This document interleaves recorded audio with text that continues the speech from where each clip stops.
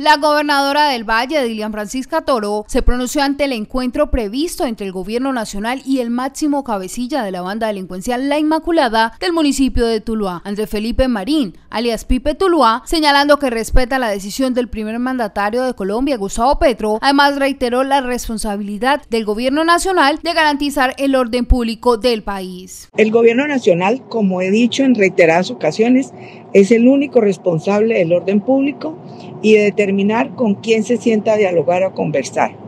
Esa decisión es discrecional del presidente de la República. Yo soy muy respetuosa del Estado de Derecho.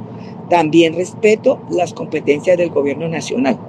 Esperemos, por el bien del Valle del Cauca, que el presidente en su sabiduría dirija de la mejor manera esas conversaciones y que se logre erradicar ese factor de, violencia que nos afecta a todos. Las autoridades del Valle continúan trabajando con la fuerza pública en ofensiva contra los integrantes de esta estructura por actividades criminales como extorsión, asesinatos, amenazas, quema de vehículos y demás hechos que generan temor y zozobra en los tulueños. Hasta el momento han sido capturados 69 integrantes de esta organización, 11 cabecillas, entre ellos alias Nacho, hermano de Pipe Tuluá, quien lo había reemplazado al mando de la banda La Inmaculada.